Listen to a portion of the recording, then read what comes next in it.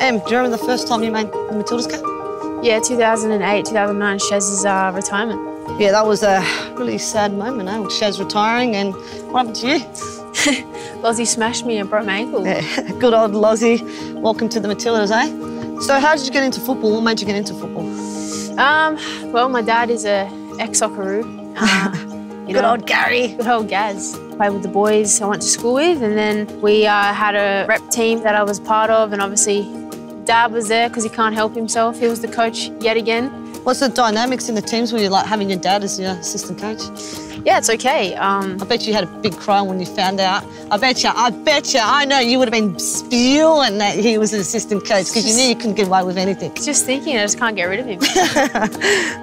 I think I was born and bred to be a footballer because I look at my pathway and I look to where I am and most people would have given up because there wasn't a pathway. I loved what I did and I was so passionate and I knew that I was going to do something amazing with the sport. oh, Rachel. Go on. For me to see that no girl has to leave home with nothing in the bank to follow their dreams is just something that I, I, I'm very grateful for because it was probably one of the toughest times in my life, but I knew what I wanted and I wasn't going to stop till I became a, a Matilda player. Woo! I didn't think that I'll actually live in this lifetime to see all this happen. Knowing that I left a legacy and, and, and a pathway for that, it's amazing.